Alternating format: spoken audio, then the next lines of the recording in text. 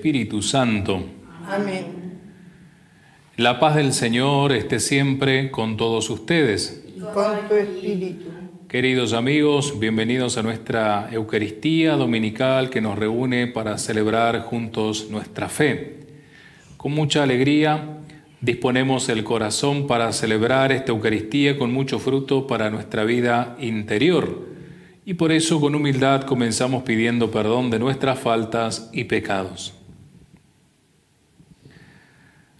Tú que ofreciste el perdón a Pedro arrepentido, Señor, ten piedad. Señor, ten piedad. Tú que prometiste el paraíso al buen ladrón, Cristo, ten piedad. Cristo, ten piedad. Tú que perdonas a todo hombre que confía en tu misericordia, Señor, ten piedad. Señor, ten piedad. Dios Todopoderoso tenga misericordia de nosotros, perdone nuestros pecados y nos lleve a la vida eterna. Amén.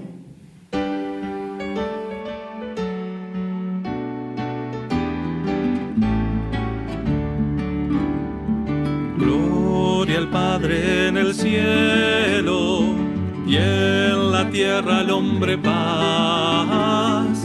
Por tu gloria te alabamos, te cantamos a ti, oh Señor. Gloria, gloria, aleluya, aleluya al Dios del amor. Gloria, gloria y aleluya, aleluya al Dios del amor. Señor Hijo Jesucristo, Hijo único de Dios, gloria a ti que eres santo, hacia el Padre nos lleva tu amor. Gloria, gloria y aleluya, aleluya al Dios del amor. Gloria, gloria y aleluya, aleluya al Dios del amor. Gloria al Espíritu Santo, que da vida a nuestro obrar. Mil gracias te damos, porque tú nos enseñas a amar. Gloria, gloria y aleluya, aleluya al Dios del amor. Gloria, gloria y aleluya, aleluya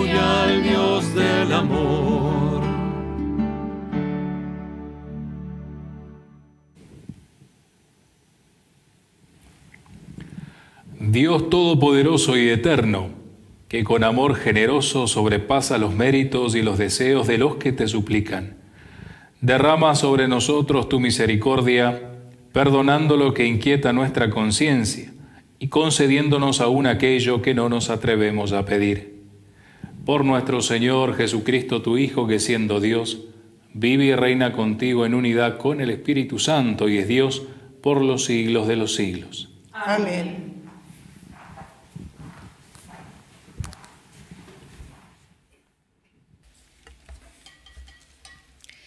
Lectura del libro del Génesis. Cuando el Señor Dios hizo el cielo y la tierra, modeló al hombre con arcilla del suelo y dijo, no conviene que el hombre esté solo, voy a hacerle una ayuda adecuada.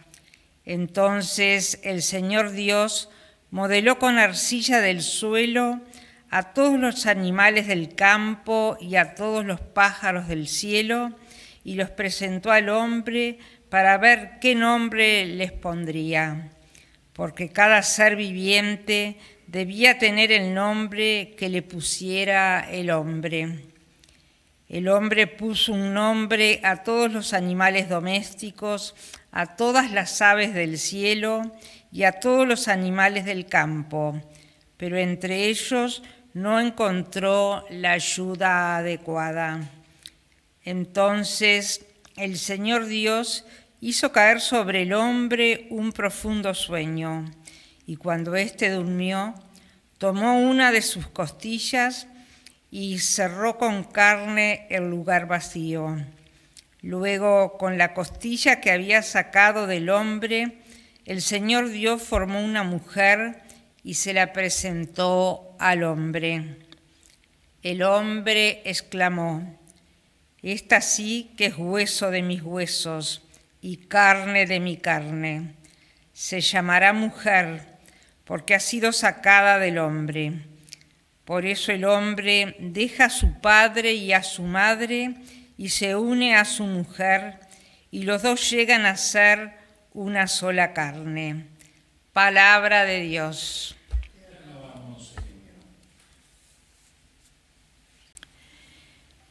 Que el Señor nos bendiga todos los días de nuestra vida. Que el Señor nos bendiga todos los días de nuestra vida. Feliz el que teme al Señor y sigue sus caminos. Comerás del fruto de tu trabajo, serás feliz y todo te irá bien. Que el Señor nos bendiga todos los días de nuestra vida. Tu esposa será como una vid fecunda en el seno de tu hogar, tus hijos como retoños de olivo alrededor de tu mesa. Que el Señor nos bendiga todos los días de nuestra vida. Así será bendecido el hombre que teme al Señor. Que el Señor te bendiga desde Sión todos los días de tu vida. Que contemples la paz de Jerusalén y veas a los hijos de tus hijos. Paz a Israel. Que el Señor nos bendiga todos los días de nuestra vida.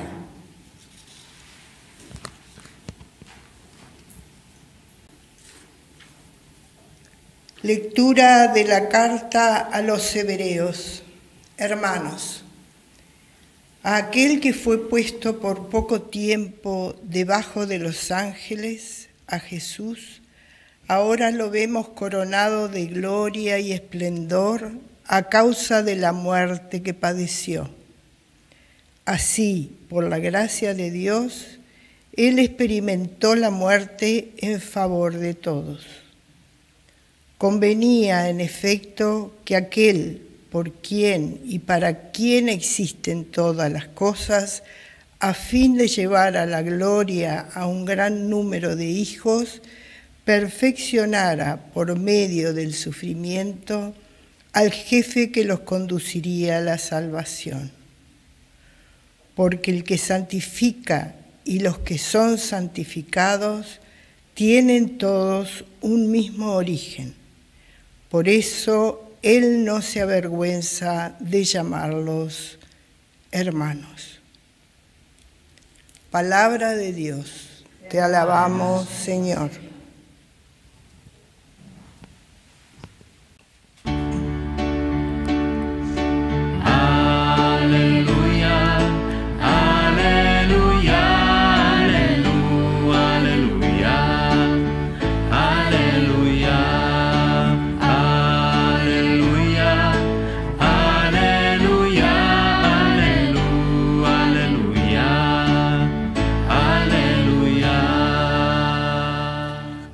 Señor esté con ustedes. Y con tu espíritu. Evangelio de nuestro Señor Jesucristo según San Marcos. Gloria a ti, Señor.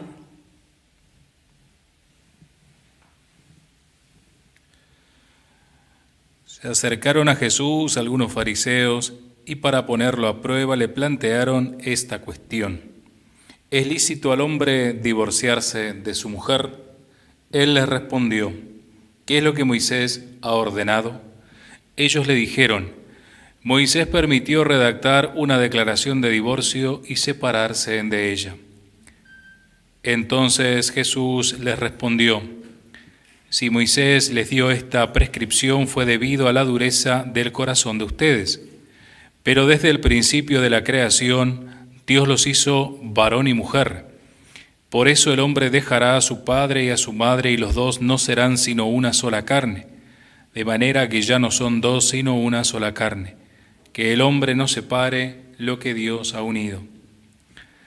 Cuando regresaron a la casa los discípulos le volvieron a preguntar sobre esto. Él les dijo, El que se divorcia de su mujer y se casa con otra comete adulterio contra aquella, y si una mujer se divorcia de su marido y se casa con otro, también comete adulterio. Le trajeron entonces unos niños para que los tocara, pero los discípulos los reprendieron. Al ver esto Jesús se enojó y les dijo, Dejen que los niños se acerquen a mí y no se lo impidan, porque el reino de Dios pertenece a los que son como ellos. Les aseguro que el que recibe el reino de Dios como un niño no entrará en él. Después los abrazó y los bendijo imponiéndoles las manos. Palabra del Señor.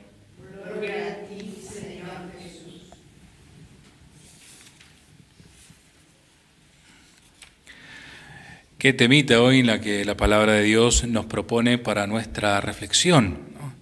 Es un tema vidrioso, es un tema espinoso muchas veces porque suscita disparidad de opiniones, pero bueno, la palabra de Dios siempre es tan certera y siempre es luz en el caminar y sobre todo en el corazón del creyente que nos ilumina para que podamos abordar la reflexión realmente con el mismo sentir con el que probablemente fue escrito esta palabra.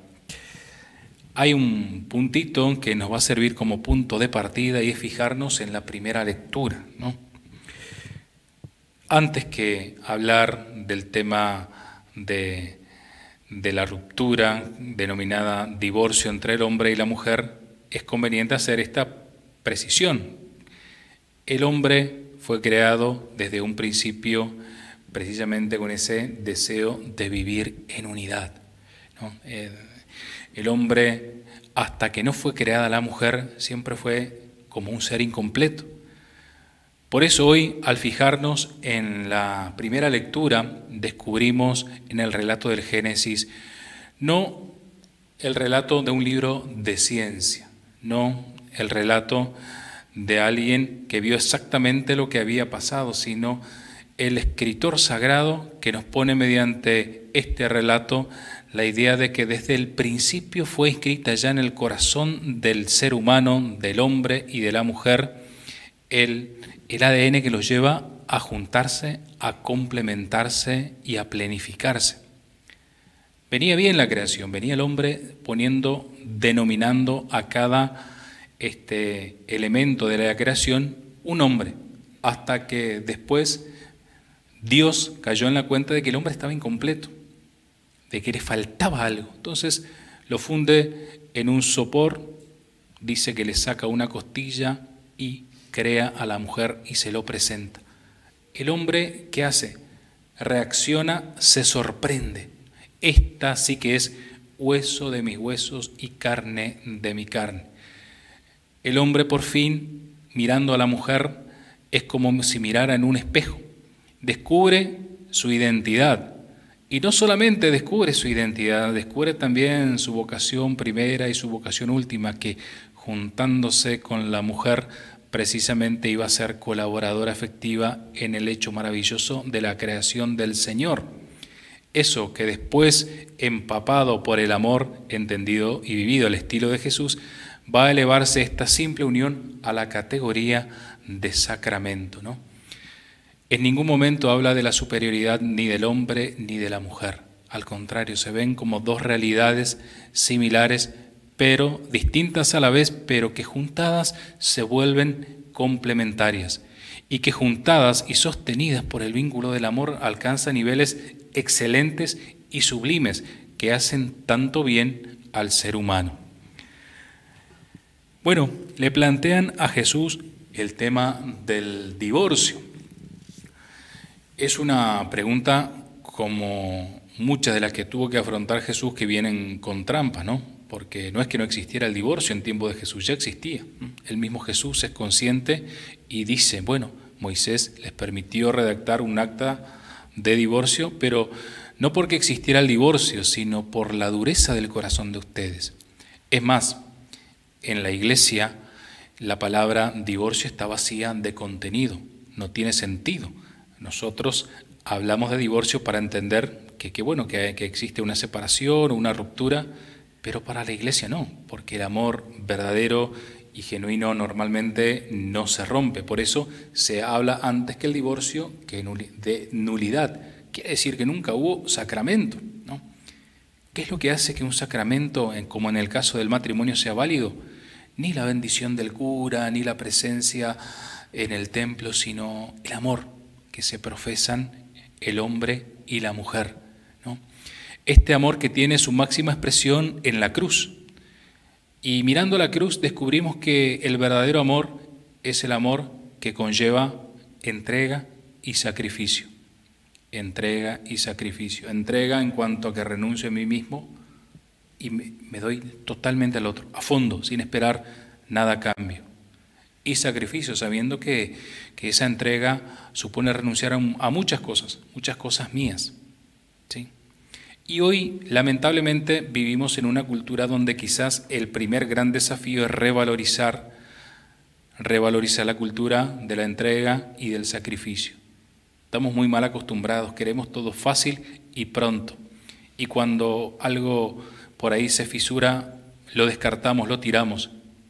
Y no empeñamos el tiempo quizás en buscar este, reparar, en buscar realmente la vueltita, como quien dice, a ver si le encontramos una solución. Entiendo que cada vínculo, que cada realidad personal y familiar es una realidad única y no podemos generalizar, no podemos generalizar. Quizás debiéramos plantearnos en este momento también cómo entiende cada uno de nosotros el significado o lo que significa e implica realmente la palabra la realidad del amor. Es mucho más que un sentimiento. No hay palabra más profanada y quizás vilipendiada a lo largo de la historia, inclusive dentro de la iglesia, que el hecho de amar. Hoy es un buen día para ver nosotros contemplando la cruz, a ver si somos capaces de descubrir en eso cuál es y cómo es el verdadero amor. un verdadero amor de entrega y de sacrificio. Por otro lado, también la realidad nos pone delante de los ojos que vivimos también en un tiempo donde hay rupturas importantes en el seno de las familias, ¿no?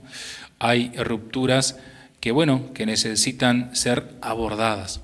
Y la palabra de Dios lo primero que quiere invitarnos en este día precisamente no es a leerlo y ponernos en clave de jueces, al contrario. El único juez es Dios. A ti y a mí no nos toca juzgar, al contrario, se nos invita a buscar mecanismos para vendar heridas, para estrechar corazones eh, rotos, corazones heridos, corazones lastimados. ¿no? Hoy tenemos un lindo desafío, también cada uno desde su lugar a vivir el mandamiento del amor, el amor que es capaz de acoger al otro, al otro que quizás experimentó una ruptura de cualquier tipo en su vida. ¿no? Y orar también por nuestras familias todos venimos de unas familias, ¿sí? Tú y yo somos frutos del amor. Qué maravilla, ¿no? Que Dios concede al ser humano que en el ejercicio del amor pueda colaborar con Él en la obra de la creación. Que el ejercicio del amor vivida mediante la sexualidad entre el varón y la mujer se gesta una nueva vida. Qué maravilla, ¿no? Qué maravilla. Bendito Dios que posibilita esto y bendito Dios que te invita a ti y me invita a mí también en este momento para que nosotros podamos vivir según el mandamiento del amor. Sí, pero el mandamiento del amor al estilo de Jesús. Insisto, entrega y sacrificio. Pongamos de moda amar al estilo de Jesús que tanto bien nos va a hacer a nosotros, a la iglesia y a toda la humanidad. Y que el Señor aleje de nosotros todo sentimiento, toda actitud o toda realidad que por ahí nos lleva a nosotros a generar alguna pequeña ruptura o fisura en el corazón del otro, en el corazón del prójimo. Por todos los matrimonios de nuestra iglesia, del mundo entero, de Montevideo, de nuestras parroquias particulares, vamos a elevar una plegaria, una plegaria de agradecimiento, una plegaria para que el Señor los siga sosteniendo en esta vocación maravillosa. Y probablemente, no sé, no sé tu realidad, probablemente tú tampoco la mía, capaz que no venimos de una familia plena o feliz o modélica, no. pero sí venimos de una familia en que se ha luchado, en que nuestros padres se han sacrificado, en que nuestros padres, según sus posibilidades, se han roto todo por nosotros. Quedémonos con eso y seamos continuadores de esa herencia maravillosa de vivir en complementariedad el hombre y la mujer. No hagamos distinciones estériles que no conducen a nada, al contrario, valoremos la unidad entre el hombre y la mujer que posibilita la creación de una nueva vida, vida en todo sentido. Que el Señor nos conceda su gracia y nos ayude precisamente a ser cuidadosos de este don, de esta gracia que el Señor pone en nuestras manos y al cual nos llama a cada uno de nosotros.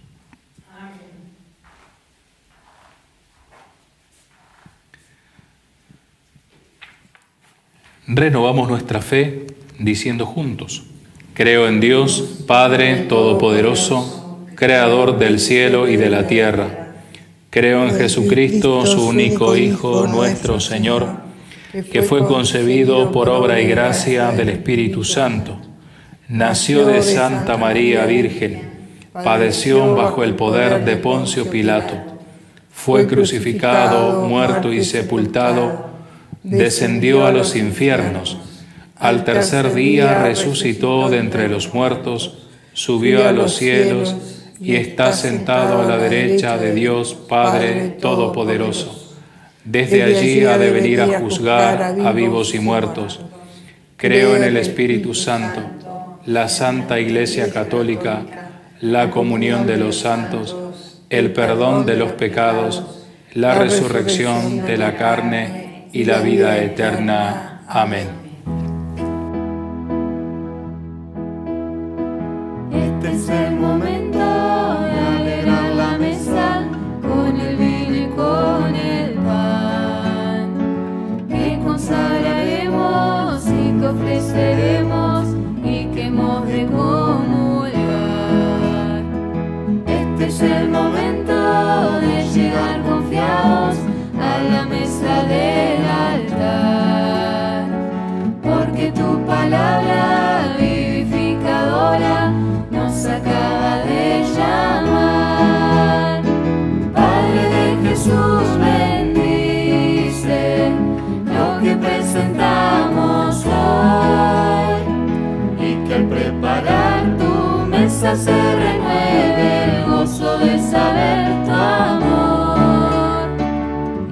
Preparar tu mesa se renueve el gozo de saber tu amor. Sigamos orando hermanos para que este sacrificio que es mío y de todos ustedes sea agradable a Dios Padre Todopoderoso. El Señor reciba de tus manos este sacrificio para alabanza y gloria de su nombre, para nuestro bien y el de todos sus ángeles. Recibe, Señor, esta oblación instituida por ti y por estos sagrados misterios que celebramos. Danos la gracia de la redención. Por Jesucristo nuestro Señor. Amén. El Señor esté con ustedes. Y con tu espíritu Levantemos el corazón. lo tenemos levantado hacia el Señor. Demos gracias al Señor nuestro Dios. Es justo y necesario. En verdad es justo bendecirte y darte gracias, Padre Santo, fuente de la verdad y de la vida, porque nos has convocado en tu casa en este día de fiesta. Hoy tu familia reunida en la escucha de tu palabra y en la comunión del pan único y partido, celebra el memorial del Señor resucitado, mientras espera el domingo sin ocaso en el que la humanidad entera entrará en tu descanso.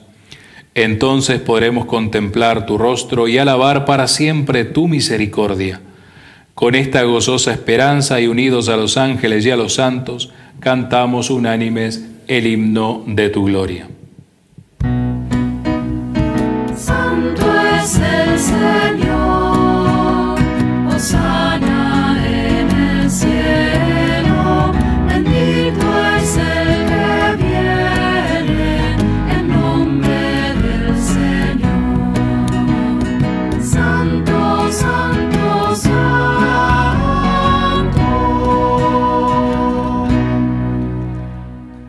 Santo eres en verdad, Señor, fuente de toda santidad. Por eso te pedimos que santifiques estos dones con la efusión de tu Espíritu, de manera que se conviertan para nosotros en el cuerpo y la sangre de Jesucristo nuestro Señor. Él mismo cuando iba a ser entregado a su pasión voluntariamente aceptada, tomó pan. Dándote gracias lo partió y lo dio a sus discípulos diciendo, Tomen y coman todos de él, porque esto es mi cuerpo que será entregado por ustedes.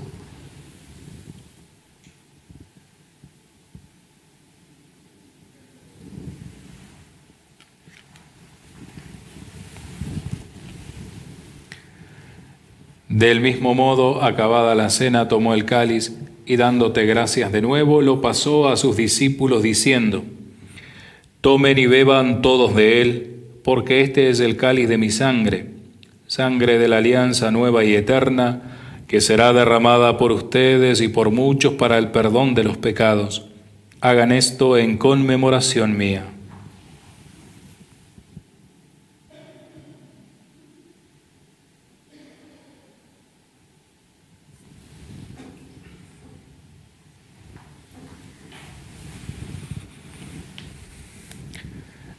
Este es el sacramento de nuestra fe. Anunciamos tu muerte, proclamamos tu resurrección. Ven, Señor Jesús. Así, Padre, al celebrar ahora el memorial de la muerte y resurrección de tu Hijo, te ofrecemos el pan de vida y el cáliz de salvación y te damos gracias porque nos haces dignos de servirte en tu presencia. Te pedimos humildemente que el Espíritu Santo congregue en la unidad a cuantos participamos del cuerpo y la sangre de Cristo Acuérdate, Señor, de tu iglesia extendida por toda la tierra y reunida aquí en el domingo, día en que Cristo ha vencido a la muerte y nos ha hecho partícipes de su vida inmortal. Y con el Papa Francisco, con nuestro obispo Daniel y todos los pastores que cuidan de tu pueblo, llévala a su perfección por la caridad. Acuérdate también de nuestros hermanos que se durmieron en la esperanza de la resurrección y de todos los que han muerto en tu misericordia admítelos a contemplar la luz de tu rostro. Ten misericordia de todos nosotros y así con María la Virgen Madre de Dios, San José su esposo, los apóstoles y cuantos vivieron en tu amistad a través de los tiempos, merezcamos por tu Hijo Jesucristo compartir la vida eterna y cantar tus alabanzas.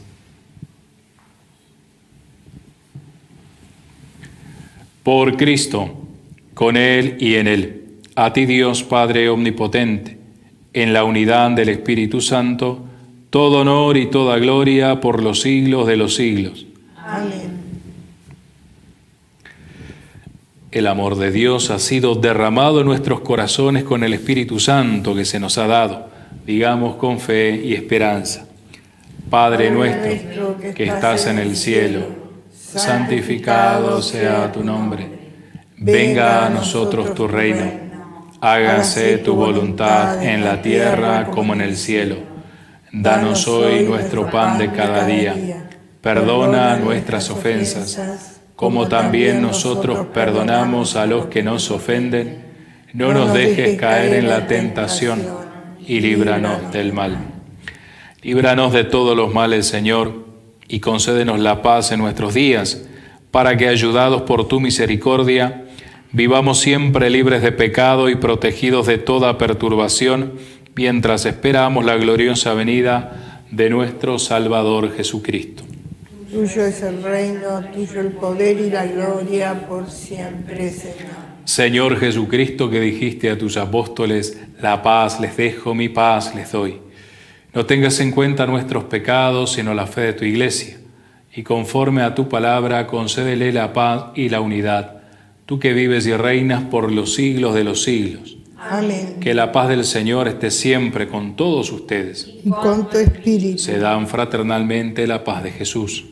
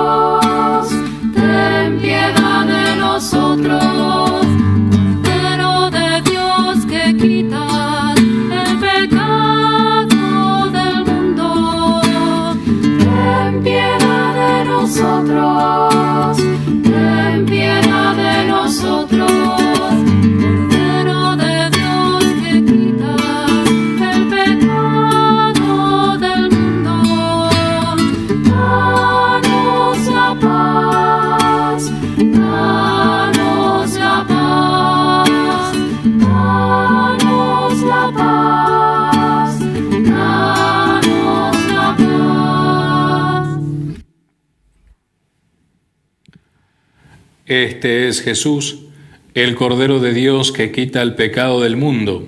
Dichosos todos los invitados a la mesa del Señor. Señor, yo soy digna de que entres en mi casa, pero una palabra tuya bastará para sanar. El cuerpo y la sangre de Cristo nos guarden para la vida eterna.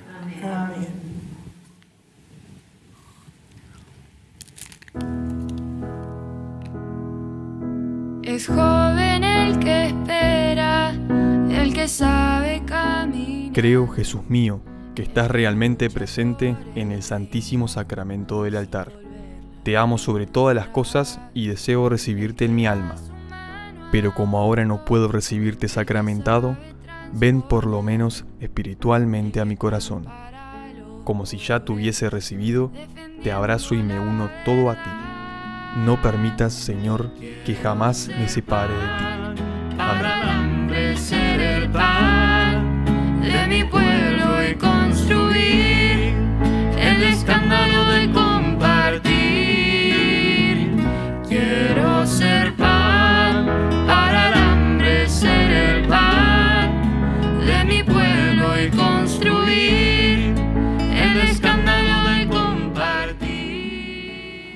Oremos.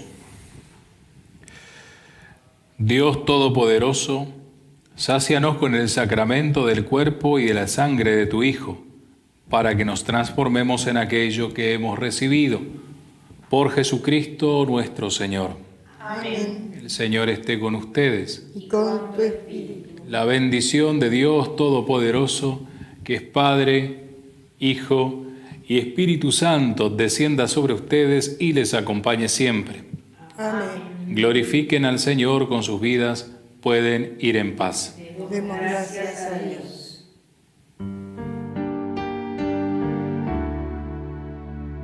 Dios te salve María, llena eres de gracia, el Señor es contigo.